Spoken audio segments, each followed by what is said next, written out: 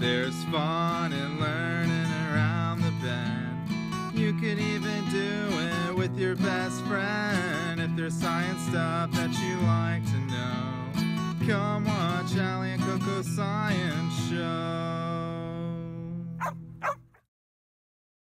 Welcome to Allie and Coco Science Show. Um, we are hunkering down. Hurricane Michael is coming. We're gonna be fine. We're just gonna have rain, but rain is so scary. I have some footage from the this time I went to the Lowry Park Zoo, um, Zoo Tampa. It's probably one of the most beautiful zoos I've ever been to. Nice, amazing exhibits.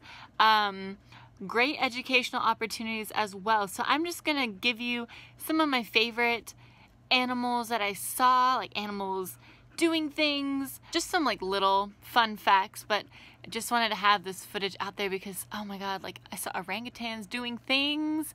It was amazing. So um, for the question of the week, I wanna know, what is your favorite zoological park or aquarium type of place?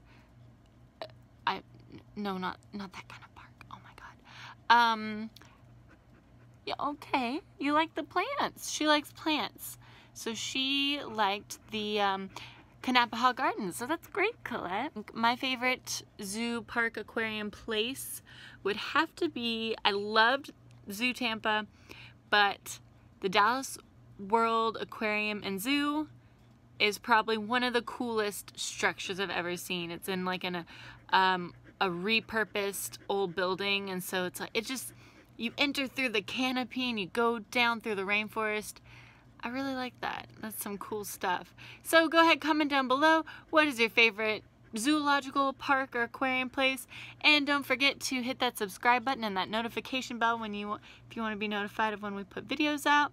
And we have all of our links down below for Twitter, Instagram, the works. So uh, I hope you guys enjoy the video. Have a great day. Three, two, one.